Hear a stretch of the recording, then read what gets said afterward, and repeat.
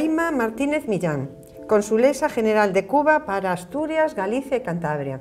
pues bienvenida a Correo Televisión y al Correo Gallego. Muchas gracias. Es un placer para nosotros tener a una consulesa y además cubana en nuestras instalaciones y que nos comentes cómo es tu relación con nuestra tierra y, tu labor aquí, sobre eso, y sobre todo porque eres la primera mujer consulesa.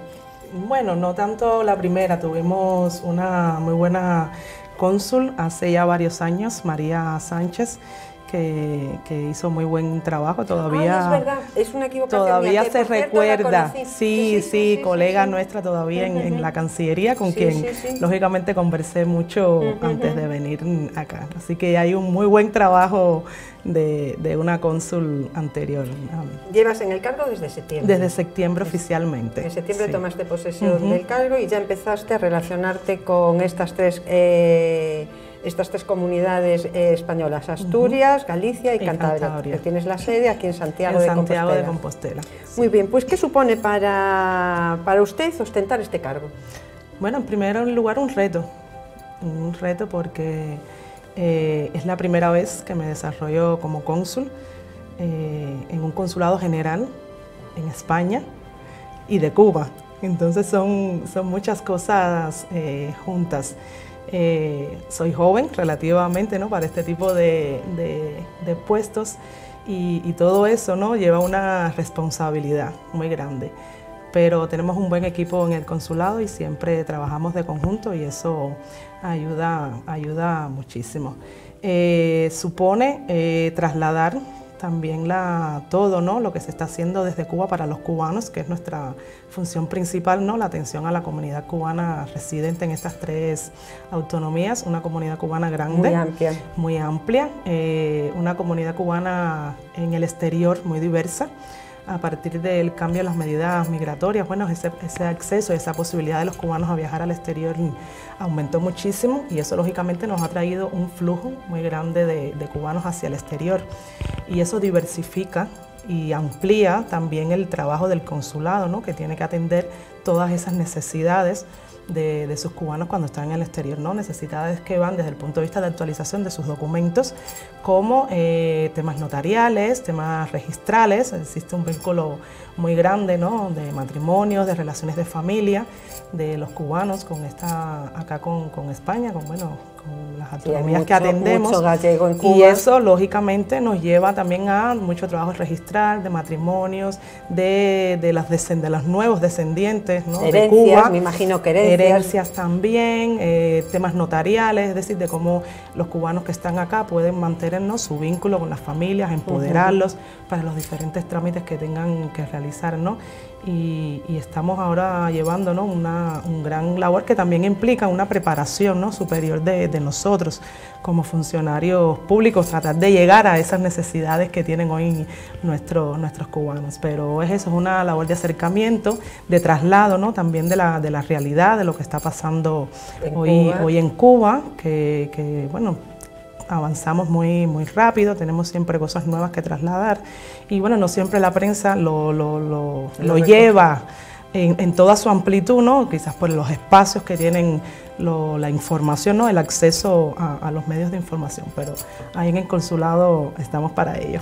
Las relaciones entre Cuba y Galicia siempre fueron excelentes y, se están llevando a cabo algunas medidas para reforzarlas y ampliarlas, ¿no es así? Claro que sí. Bueno, eh, nosotros además de la atención consular, como ya le, le explicabas, y como consulado general, que es el, tipo ¿no? de consulado que tenemos acá en Santiago, atendemos también eh, los vínculos eh, políticos, es decir, con las autoridades locales. Y, las relaciones económicas. Es las relaciones económicas, culturales, eh, y, hoy estamos trabajando ¿no? muchísimo en, ese, en ese aspecto. Y parte de nuestra labor también es eso, ¿no? acercarnos, mantener los vínculos con esas autoridades, tratar de desarrollar nuevas acciones, nuevas cosas que nos permitan ¿no? mantener muy activos los vínculos que ya existen y todo lo que podamos reforzar. Siempre estamos tratando de, ver ¿no? dónde podemos insertar un poquitico a Cuba ¿no? que refleje eh, de una manera muy concreta eso que, tenemos, esa historia tan, tan común que nos une. Porque aparte de la historia, aparte de los lazos que, nos unen, como, como ha dicho, ¿qué nos ofrece Cuba a los gallegos en este momento? Bueno, mucho cariño, como siempre lo hemos, lo hemos tenido. Eh, le ofrecemos una Cuba muy abierta, es decir, una Cuba que sigue recordando a España en general y a Galicia, que guarda con Cuba unos vínculos muy especiales, ¿no? Tenemos tres autonomías que atendemos en el consulado, Galicia, Asturias y Cantabria, y tenemos dos que tienen muchísimos vínculos con Cuba, Galicia y Asturias. Y eso, lógicamente, pues, además de todo este trabajo consular, pues es, eh, es muy grande, ¿no? Toda esa labor de, desarrollar nuevas acciones, tanto culturales como políticas, como empresariales, ¿no? Y, y, eso es lo que, lo que tenemos, es decir, total disposición, eh, mucha voluntad, eh, mucho activismo, mucho entusiasmo por hacer, por hacer nuevas cosas. Y yo creo que en este año muy especial, porque La Habana está cumpliendo su 500 aniversario. Y entonces, nada, ahí tenemos a un país y a una ciudad encantadora eh, a la cual se enamoran todos los españoles y los gallos que aún no hay a Cuba. Yo siempre digo, cuando recibimos ¿no? a los turistas en el consulado, primera vez que va a Cuba, ¿cómo es posible? ¿no? Y dice, bueno, sí, es una deuda que tenía pendiente, no quería, bueno, eh, que pasara mucho tiempo sin, sin, visitar, tanto que se habla de Galicia y, y Cuba. Y además La Habana es una ciudad muy especial. Yo creo que es una de las ciudades eh, mm, con más personalidad de todo el mundo. Así es. Habana es. muy, muy, muy especial. Muy cosmopolita, muy, abierta, muy dinámica, muy moderna y antigua a la vez. Y muy española también. Y muy española, lógico, claro que sí. Eh, bueno, ya vemos que, que, Cuba nos ofrece muchas cosas, pero ¿qué le interesa a Cuba de Galicia? ¿O qué le podemos ofrecer los gallegos a Cuba? Yo creo que para Cuba siempre ha sido muy importante el acompañamiento, ¿no? de, los amigos y de los que sienten un cariño muy especial hacia nosotros los cubanos. Y, para nosotros España, bueno, cuando digo España, lógicamente siempre aterrizo acá a Galicia, bueno, Asturias, a Cantabria, pero nos ocupa ahora Galicia. Eh, ha sido fundamental ese, ese elemento adicional, ¿no? ese sentimiento y ese cariño que siempre ha estado presente en todos los vínculos que ha tenido que ver ¿no? y que siempre a Cuba ha sido referencia. Y, cuando hay, un sentimiento involucrado, ¿no? cuando digo yo el corazón siempre está presente, se puede superar todo, todo lo demás, ¿no? pasa por ahí y cualquier discordancia, porque lógicamente no tenemos que estar de acuerdo con todo, ni de un sentido ni, ni de otro pero cuando hay ese deseo, cuando hay ese entendimiento mutuo entre los dos, eh, eh, todo, todo fluye ¿no? y todo se puede lograr. Y eso es fundamental, que estén con nosotros, que nos acompañen, que conversemos, que, estemos dispuestos ¿no? a, a, interactuar sobre los puntos que tenemos en común, los que no nos unen, pero desde ese punto, desde los puntos en comunes, pues caminar ¿no? Juntos. Estaríamos hablando horas y horas de Cuba, de La Habana, de, y, de nuestras relaciones, pero claro, el tiempo siempre es limitado en televisión, en periódico y en cualquier medio de comunicación. Entonces, ya para terminar, eh, ¿qué opina eh, Yaima como ciudadana cubana de nuestra ciudad, de Santiago? Bueno, eh, ¿Dónde, ¿Dónde reside? Donde estoy. Siempre tuve el deseo ¿no? de, de venir a España de hecho, eh, iba a hacerlo anteriormente, pero cuestiones personales no me lo permitieron y bueno, siempre me quedó ese, esa espinita ¿no? que decimos por dentro de cómo nos vamos a, conocer a, España.